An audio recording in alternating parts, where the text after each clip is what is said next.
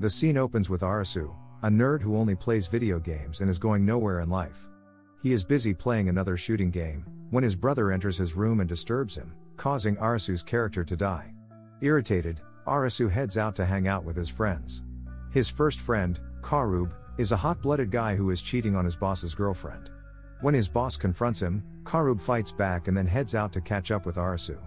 Their third friend, Chota, works in an office, and is tired of the shenanigans of the corporate world. When the three catch up, they wonder what they would do if a zombie apocalypse broke out in their city Tokyo. Karub declares that Arasu will be the one to survive the longest because he is smart and will eventually find a way to outlast zombies. Then, Karub picks up Arasu on his shoulders and starts having fun in the middle of the road. Their scuffle causes an accident, and the cops immediately start chasing them. The trio quickly runs into a supermarket to hide from the cops. They hide in a toilet and begin waiting for the cops to show up. However, after waiting for several minutes, they come outside and find the entire supermarket deserted. They nervously run outside, and find that all the roads are empty too. It appears that Tokyo has suddenly turned into a ghost town. After some time, the face of one building lights up and says Welcome players, the game will commence in a moment. Before our trio can understand anything, they see a red light coming from the distance and start running toward it. The red light is emerging from a building that says Game Arena up ahead. They enter the building, and are assigned one cell phone each. There, a woman named Shibuki arrives and reveals that they now have no option but to play the game as they'll get killed by lasers if they try to escape the building. Another girl, who looks like an NPC, joins them, and the game is revealed to be dead or alive, with difficulty level 3 of clubs. The game commences and all five of them enter a room where they have to choose between two doors named dead or alive in the given time frame. The NPC looking girl chooses the door that says alive, and immediately gets killed by a laser. Arasu, Karub, and Chota are devastated as they realize that they have to make a decision soon because the room will soon get engulfed in flames. The four of them enter the dead door and safely make it to the second room. The time given for choosing the right door reduces from 120 seconds to 110 seconds. When everyone realizes the seriousness of the game, they start panicking. Karub mans up this time and chooses the alive door, which is luckily the right choice. However, with time plummeting, they don't have a reliable way to find the right door and everyone hesitates to risk their lives. Karub forces Arasu to use his mind as this is just like any other game he has played over the years. Suddenly, Arasu realizes something and tells everyone to choose the dead door. It turns out to be the right choice and he explains that the building is 24 meters in length because the car parked outside which was 6 meters was occupying one fourth of the building. And since they started from the corner of the building, by the process of elimination, the right choice this time is dead too. Arasu then moves on carrying his entire team through the game, but Chota's leg gets burned in the last room because the time limit was only 10 seconds. When they come outside, the group is given a card respective to the game they have cleared. Now, they get a notification that they have cleared the game and three days are added to their visa. A man appears there, telling them that his visa expired today and he gets killed by a laser in an instant. The group is horrified to learn that they have to keep playing the games otherwise they'll die when their visas expire. Now the scene shifts to a girl named Usagi, who's reminiscing about climbing mountains with his father. We learn that her father is no more, and she too is stuck in this world, forced to play games. The following morning, Arasu and his group pick up things from the supermarket and learn that all devices with an electronic circuit are not working. All of them then have dinner and discuss what they were doing before it all happened. Shibuki lies that she was doing some paperwork when everyone disappeared, but in reality, she was getting close to her boss in hopes of getting a promotion. The group cannot conclude who's behind this game, and just then, the burn on Chota's leg starts hurting. He is in dire need of a doctor, so Arasu and Karub decide to play another game in hopes of meeting more people. Meanwhile, the girl we saw earlier, Usagi arrives at a game and our duo happens to join the same game too. Among the 13 participants, there is a mysterious man named Chishiya.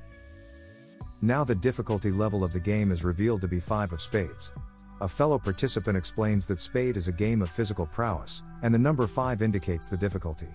Similarly, Clubs is the game of team battle, Diamond is the battle of intelligence, and Hearts is the game of betrayal.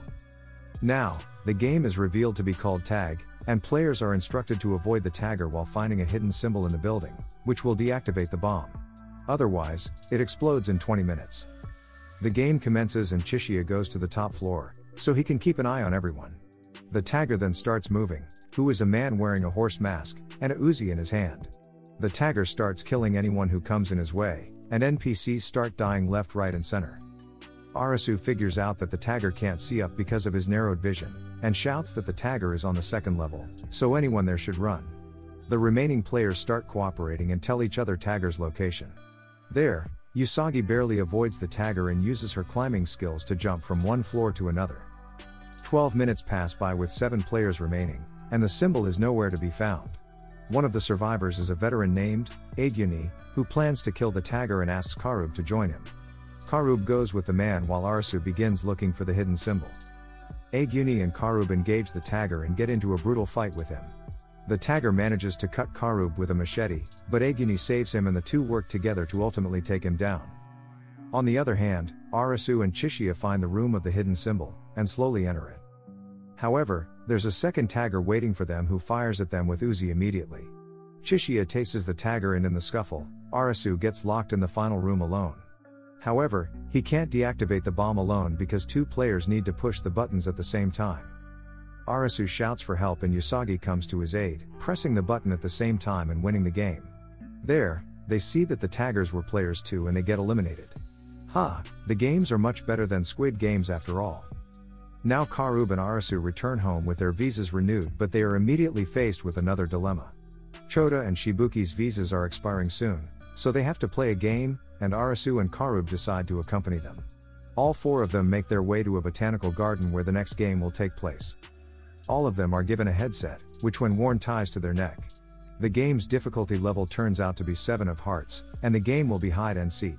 Out of the four participants, one will be a wolf while the rest three will be lambs. The wolf status will be passed on to anyone who sees them using the goggles they are provided. And at the end of the game, whoever is the wolf, wins. This means that only one of them will get out alive, and it is the wolf who has to hide, not the lambs. The group is horrified by the revelation and the wolf status gets passed on to Shibuki, and she immediately starts running away. Karub goes after her while Arasu and Chota are trying to find a safe way out of this game. Karub catches up to Shibuki and the two start fighting with each other. Karub comes out on top and takes the wolf status from her. But, Arasu calls him and the wolf status passes on to him. Surprisingly, he starts running away, and Karub attempts to go after him. Arasu finds a mirror in the garden and attempts to remove the headset, but to no avail. Karub calls him a liar and cheater over the com, while Arasu keeps apologizing, who is now just hiding in a corner. As the time is running out, the three friends start remembering the moments they spent together and Arasu breaks down, saying if anyone should die, it should be him, and runs to find others so he can pass on the wolf status. However, Karub and Chota hide from him, essentially sacrificing themselves for Arasu. The time runs out and the headset on their heads explodes, gushing out blood on Arasu's face.